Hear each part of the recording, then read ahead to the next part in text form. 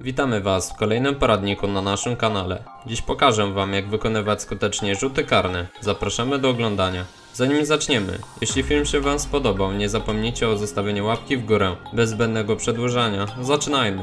Rzuty karne możemy wykonywać na dwa sposoby. Pierwszy sposób to tak zwany wariant siłowy, czyli uderzenie piłki z prostego podbicia. Drugi to techniczny, czyli uderzenie wewnętrzną częścią stopy. Strzelając mocno damy bramkarzowi mniej czasu na reakcję, ale stracimy na celności. Techniczny strzał będzie bardziej celny, ale za to jego siła będzie mniejsza, co da bramkarzowi więcej czasu na reakcję. Rozbieg to kwestia indywidualna. Możemy nabiegać dynamicznie, na dwa tempa, czy powoli truchtając do piłki.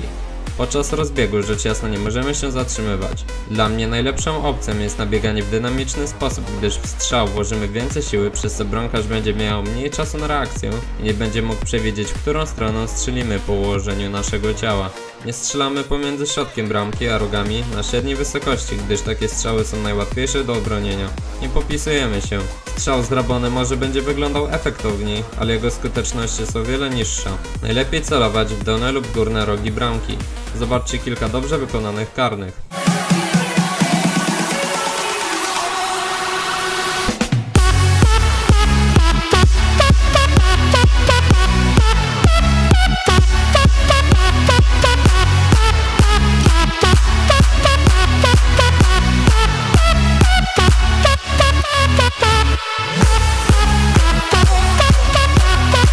Pamiętajcie, najważniejszy jest trening, dlatego gdy coś wam nie wychodzi, to nie zniechęcajcie się.